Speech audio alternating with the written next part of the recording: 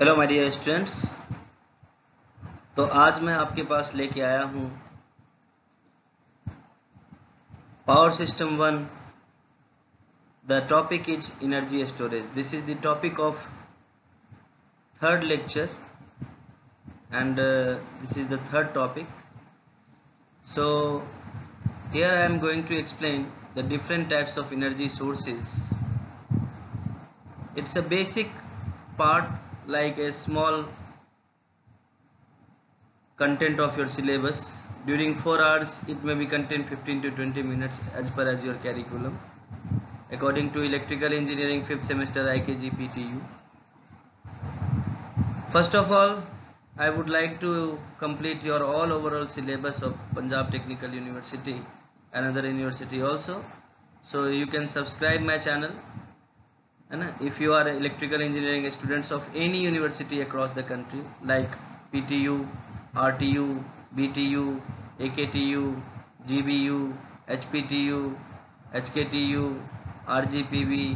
Chhattisgarh Technical University anywhere across the country.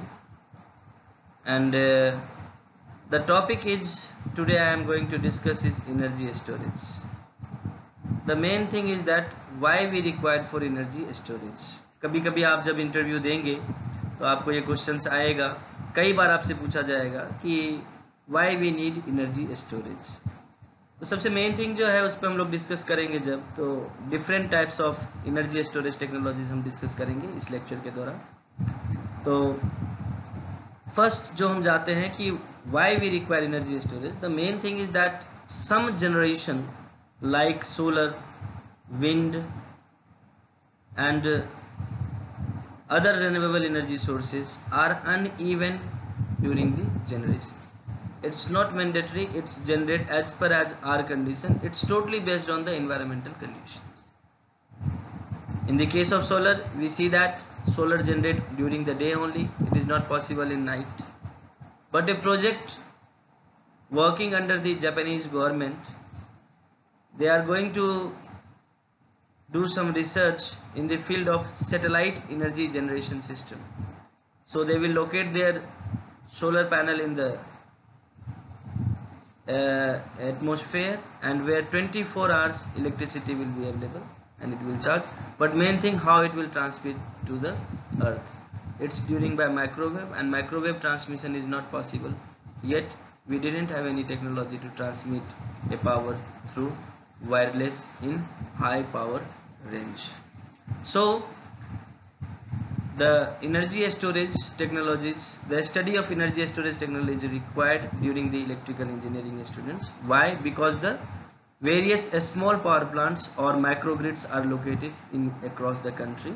So at that place we require to some energy storage device to conserve the electricity and it will utilized during the peak hours. So the different different types we studied. Like first is pump storage hydropower plant. Second a battery.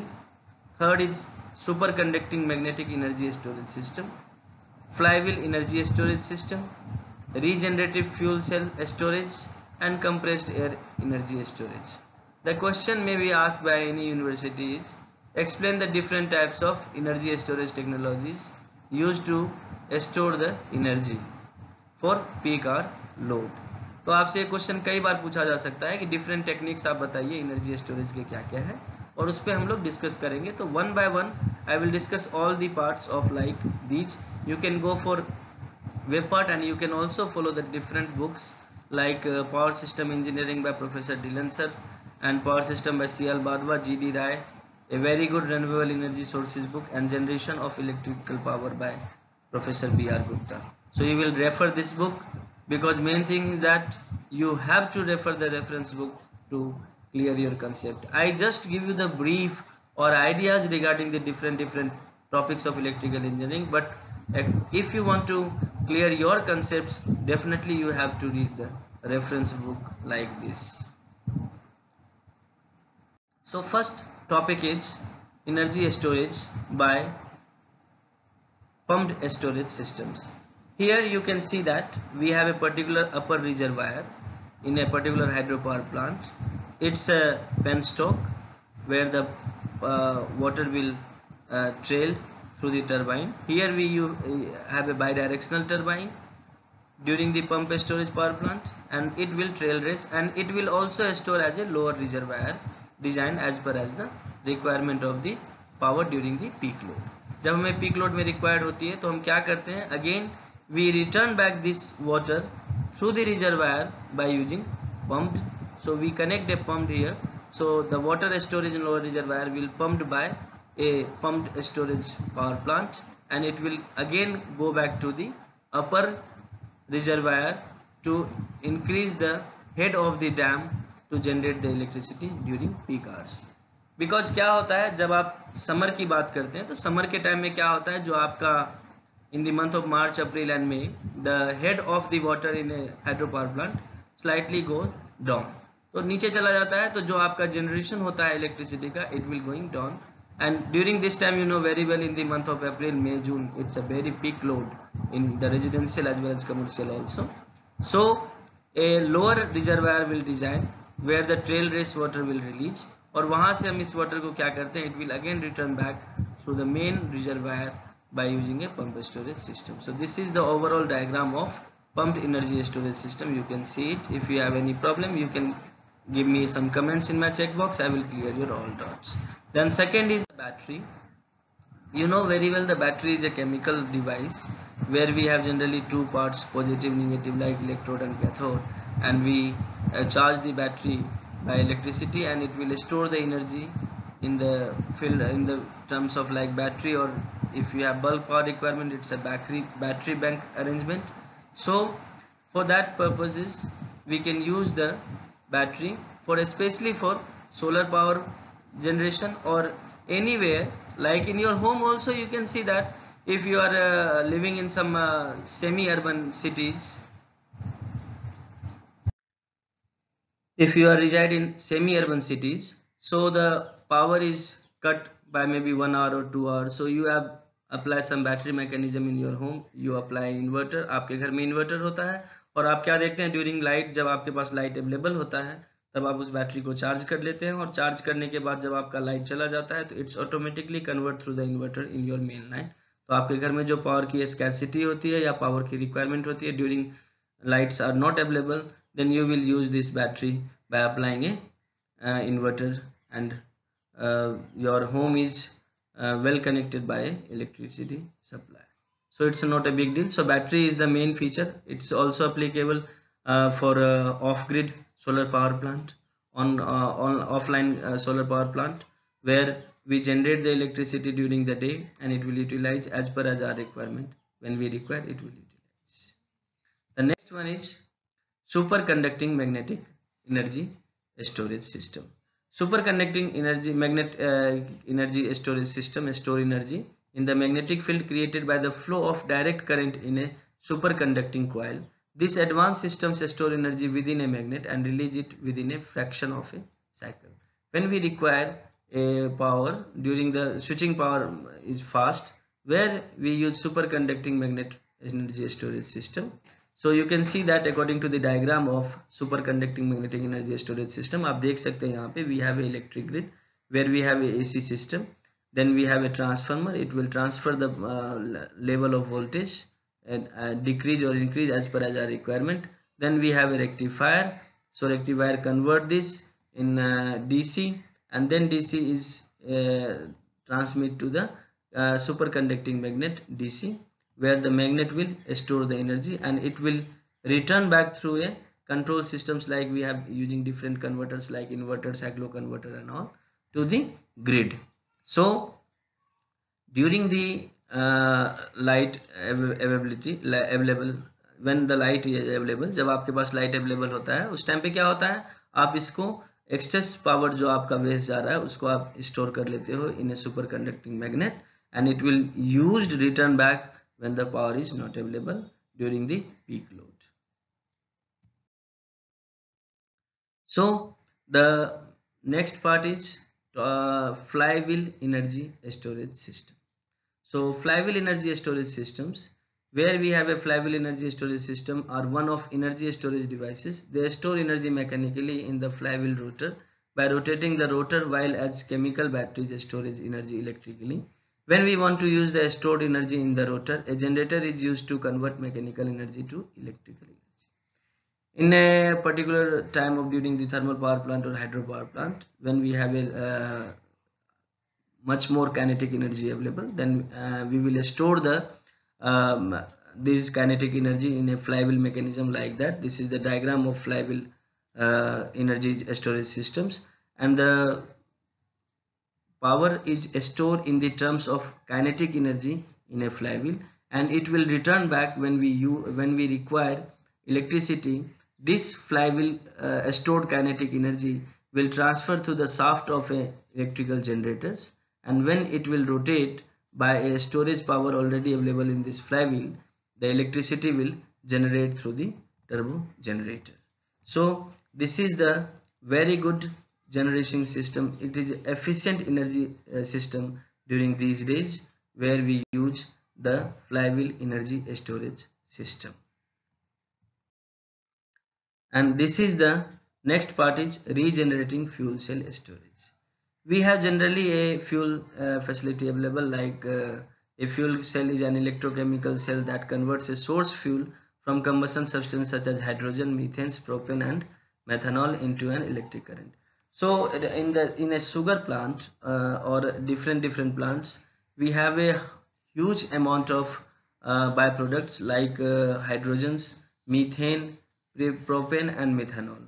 It's totally wasted if we didn't use this. It's going to totally wastage if we didn't use this. So we apply a mechanism of uh, fuel cell. You can see the overall functioning of this fuel cell a hydrogen from tank hydrogen or methane or propane will transfer and it will convert in a electrical energy by using this a fuel cell is a device that generate electricity by a chemical reaction every fuel cell has two electrode one positive and one negative called respectively the anode and cathode the reaction that produce electricity take place in the electrodes क्या होता है जब इसमें हम hydrogen या methane या कोई भी गैस हम देते हैं उसके बाद जनरली पावर सेल में फ्यूल सेल में दो हमारे टर्मिनल्स होते हैं first one is anode and second one is cathode. आप देख रहे हैं प्रोटोन एक्सचेंज में मेम्ब्रेन चल रहा है यहाँ पे वर्किंग। ऑक्सीजन हम एयर से ले रहे हैं और हाइड्रोजन इधर से जा रहा है। आफ्टर दिस हमें ये दो टर्मिनल्स मिल रहे हैं। First one is anode, second one is cathode और इसके थ्रू हमारा इलेक्ट्रिसिटी यहाँ पे जनरेट हो रहा है। It may be either store or either supply continuously next one is and last topic of this like compressed air energy storage system. Energy from solar or wind and even electricity from thermal power plant during off-peak period may be utilized to compress air by compressor and same air may be utilized to produce electricity during peak hours.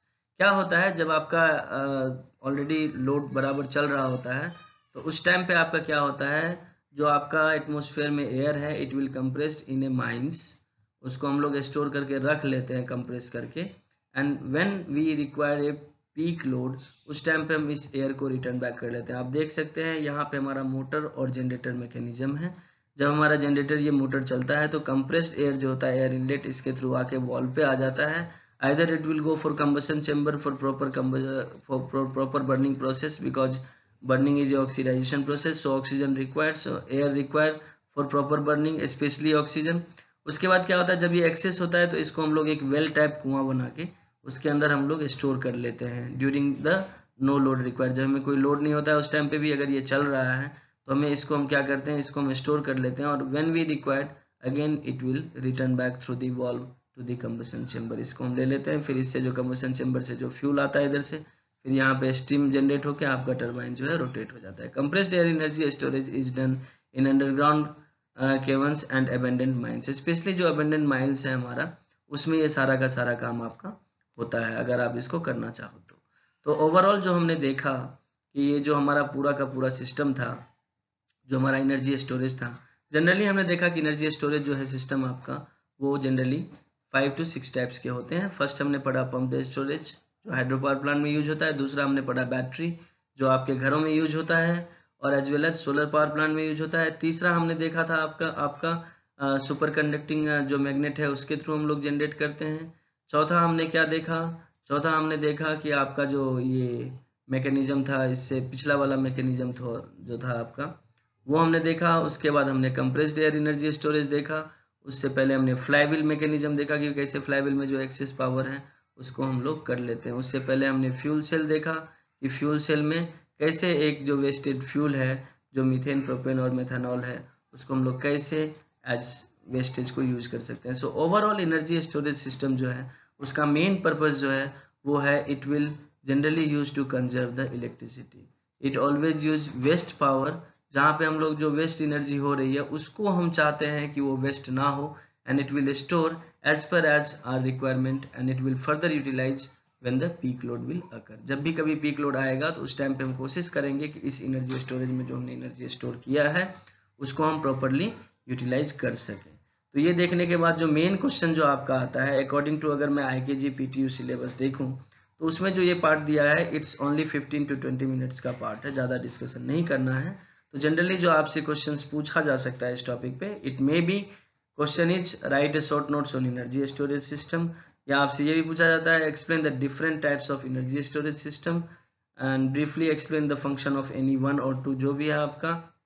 उसके अलावा question, सबसे main question जो आ सकता है why energy storage will required ये question भी आ सकता है। It may be other two marks four marks or eight marks तो ये क्वेश्चन आपसे पूछा जा सकता है। इंटरव्यू के लिए जब आप जाएँगे कभी गवर्नमेंट में या प्राइवेट में कहीं पे भी, वहाँ पे अगर आपको कोई एनर्जी स्टोरेज के बारे में पूछेगा तो आपसे ये पूछा जाएगा कि अगर एनर्जी स्टोरेज इतना एफिशिएंट है तो हम लोग रेगुलरली क्यों नहीं यूज़ कर सकते हैं? तो उसके लिए आपको डिफरेंट डिफरेंट कंसेप्ट क्रिएट करने पड़ेंगे। और स्पेशली किसी एक पर्टिकुलर का आपको पूछा जा सकता है कि आप कोई पर्टिकुलर साइट बताइए जहाँ आपने एनर्जी स्टोरेज मैकेनिज्म देखा है। तो सबसे मेन जो आपका है, जो डेली यूज़ के एग्ज़ाम्पल है, वो आपका घर जहाँ आप लोग इन्वर्टर्स यूज़ करते हैं। During the light availability it will generate by electricity and it will return back when power facility is not available उसके अलावा डिफरेंट डिफरेंट साइट्स हैं जो आप विज़िट कर सकते हैं। कंसेप्ट क्लियर करने के लिए मैंने आपको कई बार कहा है। You have to go the reference book आप रेफरेंस बुक को डिटेल में पढ़िए। उसके अलावा आप वेब एक्स भी कर सकते हैं। बहुत सारी चीज़ों को वेब पे सर्च कर सकते हैं। लेटेस्ट ट्रेंड्स क्या चल रहे हैं? जैसे मैंने अभी आपको स्टार्टिंग में बताया कि सोलर पे मैं आज से 10 साल पहले पढ़ा था कि जापान काम कर रहा है for satellite solar system in 2030 में उनका प्रोजेक्ट है कि पूरा हो जाएगा। तो वो सारी चीज़ें देखते हैं। हम लोग क्या होता है, नहीं होता है। But main thing is that कि आप लोग एनर्जी स्टोरेज सिस्टम जितना आपके पीटीयू सिलेबस के हिसाब से है it's a much more content in my P P T you can easily record it और रीड इट और राइट इट अगर ज़्यादा डिटेल में जाना है तो आप इन सब बुक में चले जाइए। If you are the students of I K G P T U in electrical engineering or any university across the country you may subscribe my channel to complete your entire syllabus of electrical engineering in odd semester of session two thousand twenty one 2021 okay guys. Thank you